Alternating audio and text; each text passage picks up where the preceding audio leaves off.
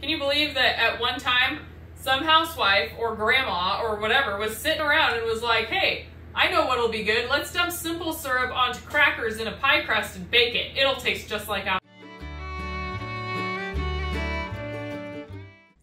Good morning, friends. Welcome back to Kerschner Farmstead. I hope that you're doing great today. Um, okay, so we are going to be making a mock apple pie. Okay, first things first, let's get our pie crust started, okay?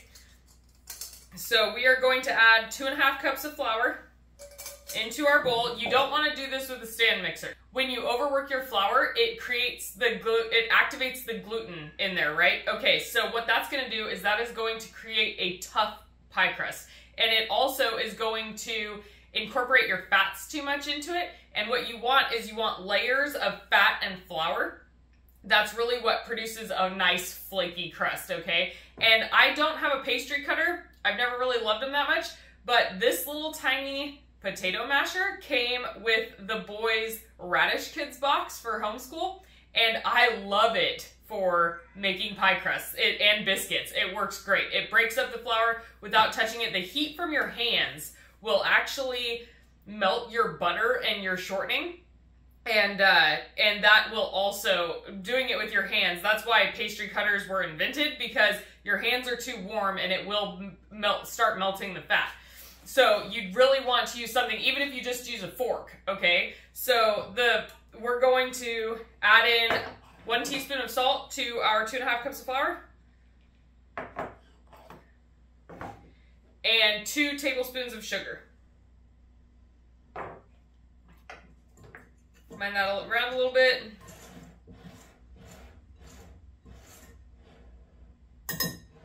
Okay, so now we are going to add in our butter, our chilled butter. Make sure that it's cold, straight out of the fridge, guys, okay? And cut it into little bricks. Handling it as little as possible. You just don't, if you dump it all into a clump, then it'll be harder to uh, get it coated in flour.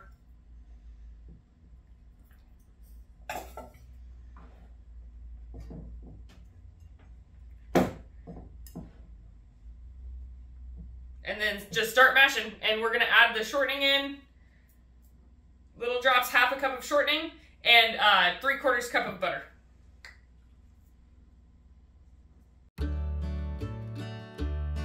Okay, you guys, now that we have our flour, or now that we have our fat cut into our flour, some of the pieces are still a little bit bigger. We're gonna start adding our water. We have half a cup of ice water here.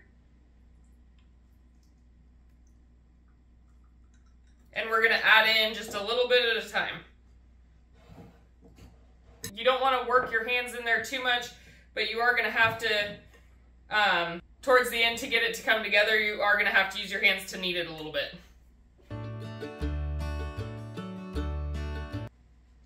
Okay guys, now that that is done, we are going to shape our pie crust into a disc and we are going to wrap it in saran wrap and let it sit in the fridge for at least 30 minutes.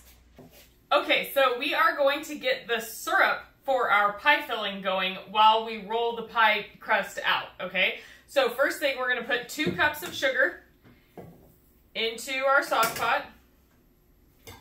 And we are going to put two teaspoons of cream of tartar. And one and three quarter cups of water.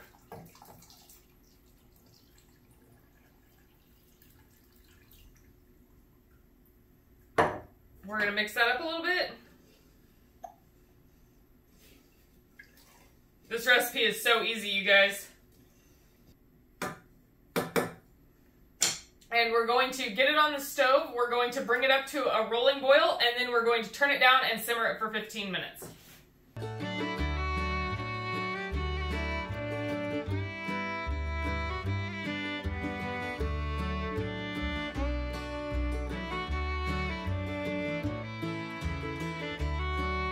Okay guys, it is time to roll out our pie crust.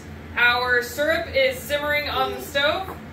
And start by putting a little bit of flour down on your surface, on your rolling surface. All right, so we are going to get our pie crust rolled out here. And we've had it in the fridge for about 30 minutes, so it's not too hard yet. Um, it's nice and easy to roll out still. You don't want to add too much flour to it, to it because that will, again, make it tougher.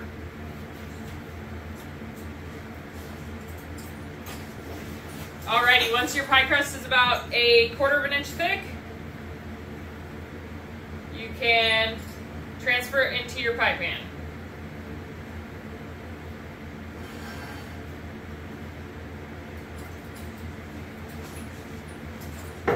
This pie only has a single crust. It does not have a top crust on it.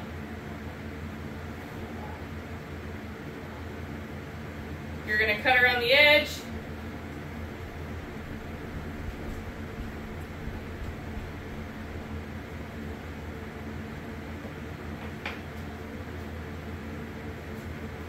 I might actually save this leftover pie crust. Waste not, right? We're talking about budget meals here and make a lattice for the top of the pie. You don't want to you, you don't want to over roll your pie crust. So don't like squish it back together into a ball. Um, just keep it like work with it, right? So I have my little um, pie cut, my little pastry wheel cutter here, but you can use a pizza cutter, it works just as good. If you choose to even do a top crust. If you don't, it doesn't matter at all. I'm only doing these for the look. I want you guys, when you're baking, to think on your feet, okay? So don't be like a slave to your recipe. Um, I want you to it you you don't have to abide by everything the recipe says okay like like i just did this recipe doesn't call for a top crust but i had extra pie crust and i want to make a lattice on the top so i'm to take the extra and i'm going to put it in the fridge until i'm ready i'm actually going to put this in the fridge too but i'm going to put these strips in the fridge until we fill the pie and then i'm just going to throw them on there so i really want you you guys to keep an open mind when you are cooking especially budget cooking because um, first of all, don't let anything go to waste, and second, um, you can make something amazing that you didn't even plan to do, right? Okay, so uh, we will be back when we are ready to fill this pie. Okay, you guys, so our syrup simmered for 15 minutes and then we let it sit for 30 minutes to cool down a little bit. Um, now we are going to add in two tablespoons of lemon juice and a teaspoon of cinnamon you don't want to add in flavorings to syrups while they're boiling. It can change the flavor and it can also break down the flavor. So something that would taste really good doesn't taste so good after um, boiling it at a really high, boiling it at a really high temperature because you have to remember sugar, um, sugar can get up to 300 degrees plus. It is not the same as water. We are going to preheat our oven to 350 degrees.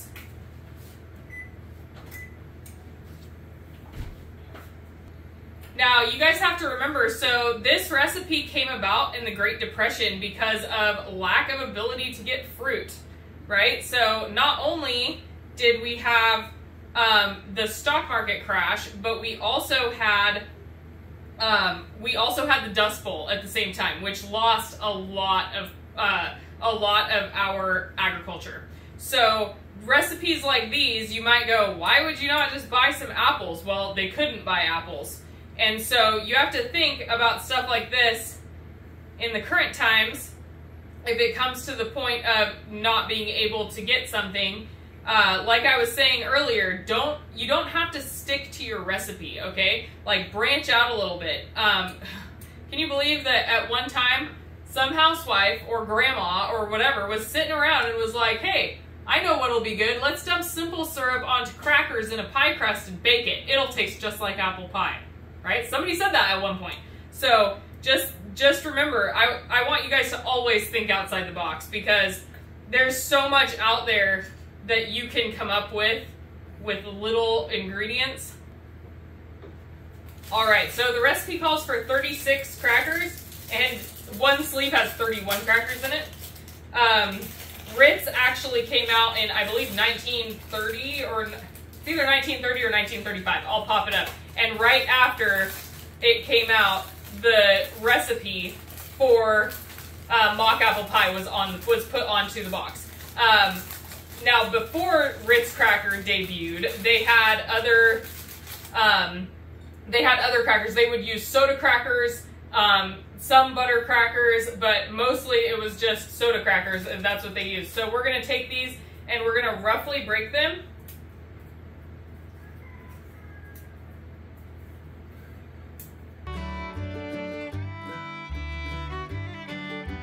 So this is a deep dish pie pan. Um, so I think that that's probably why I'm about half filled here. What I'm gonna do is I'm gonna lay the lattice on it and then I'm going to fold over the edges so that it kind of like, so that it folds in on itself. All right, so now we're gonna put the butter, sprinkle the butter around it.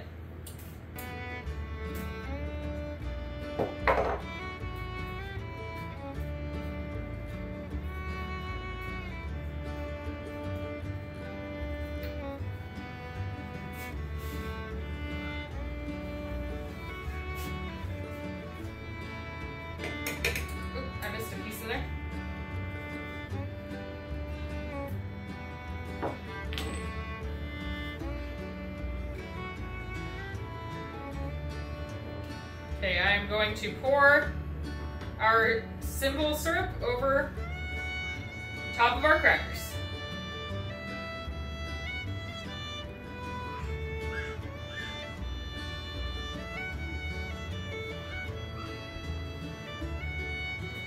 Okay, so I'm gonna egg wash around the edges just to get the um, my just to get my lattice to stick.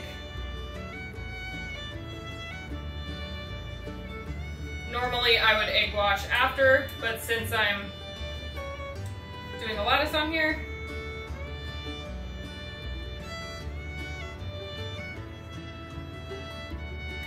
so you only stick down one side when you're gonna do a lattice, okay?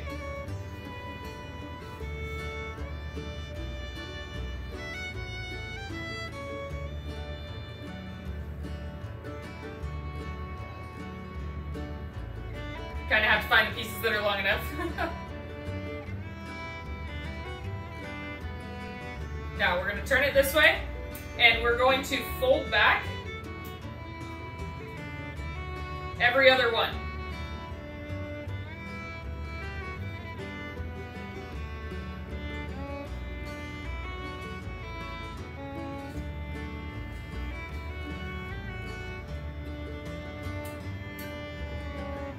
fold it over it. Remember, I am just using scraps, so kind of just making it work here.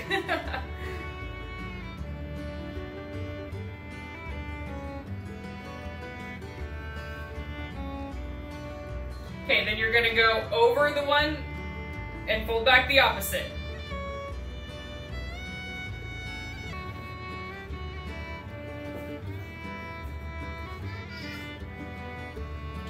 Okay, now you're gonna fold back the first ones that you folded.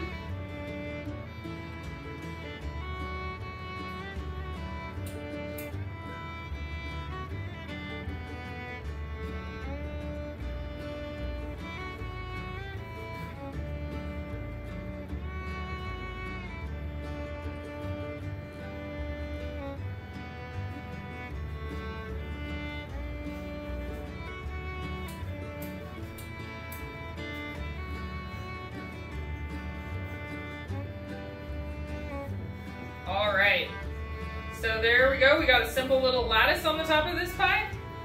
I'm going to trim it, and I am actually not going to fold it over because I wound up with it wound up with quite a bit of syrup in it, more than I expected it to be.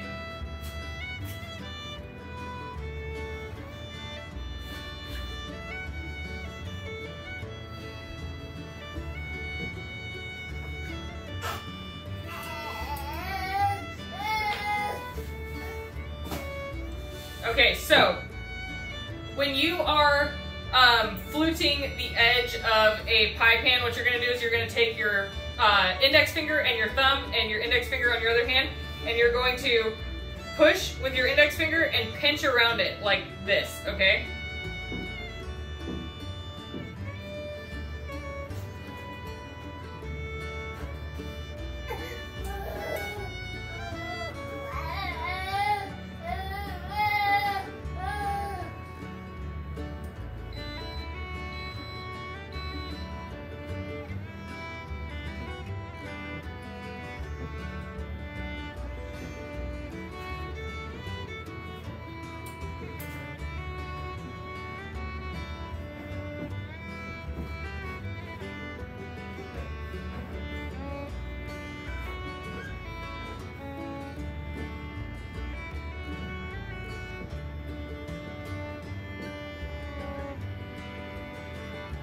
Alrighty, you guys, we're gonna throw a quick egg wash over the top of this.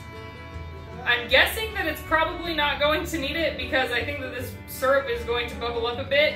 Um, I'm going to put a pan underneath, um, I'm going to put a pan underneath this pie in my oven.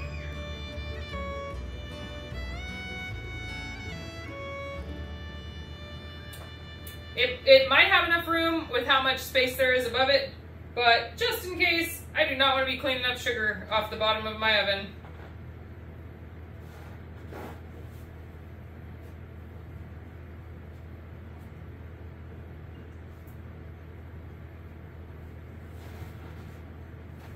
And oh, so th- since we're talking about it, um, eggs.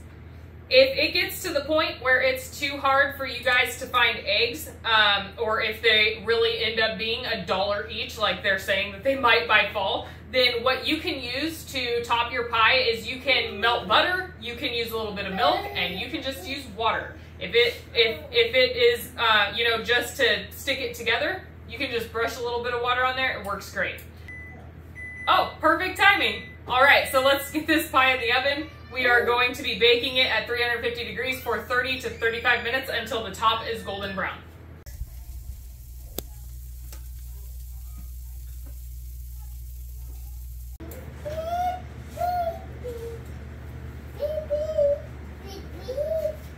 Okay, you guys. Watch out, Colton.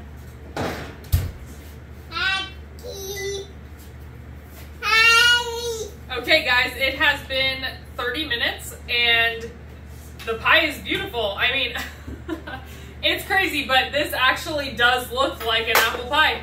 Um, so it does say that this is best served warm.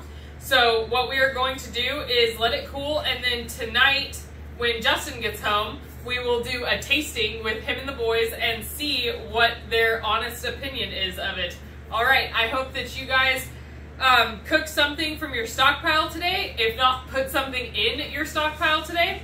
And I hope that you, along with the rest of us, can beat this inflation. All right, have a blessed day. Bye. Hi guys, we are trying our mom's mock apple pie made out of Ritz cracker, Ritz crackers. Um, so we're gonna try it. See how it tastes. looks weird. I'm gonna see if it tastes like apple.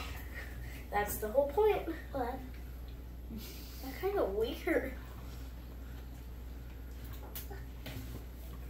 Hmm. It does. It it does in a way taste like It- apple, but um.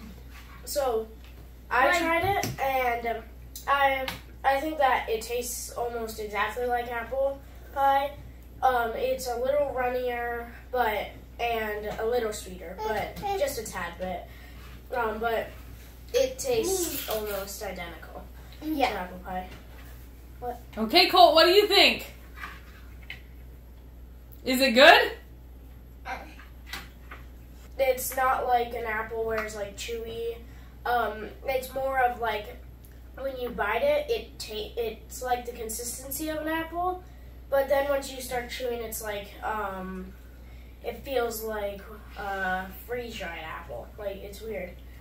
Don't bite your shirt. And it, the dough, the It dough looks like a tastes good. The dough tastes like apple pie dough. yeah, yeah, well, it is apple pie dough. Um, but yeah, it's, it like it, it like if you look at it, it like looks like apple when it's in the pie pan. It looks like an apple pie. The only way that you can notice is like the little spikes on the side of the rings. That's the only way that you can notice that it's an not an apple pie, a Yeah. fake apple. Yeah. So it's I liked the texture. It tastes exactly like apple pie. Um, Well, apple it's got the right flavor. Um, so it's pretty good. I'll give it a nine out of ten. It's good. It, it, it, it's pretty good. I, I'm still eating it. yeah. Say what you Um, like better, William. Apple or that? Uh, well, I. Stop it! Let me talk. Um, but I, it like it tastes exactly like apple pie, so you can barely like tell the difference. So I would give it a ten out of ten. Colton, what do you think? From one out of ten, what would you rate it? Doggy. Doggy. Um, I hope you guys enjoyed the video. Um, I really hope you try this out and taste it for yourselves. Maybe leave it in the comments and pictures. Um, please like and subscribe, and we will see you in the next video. Bye. Bye.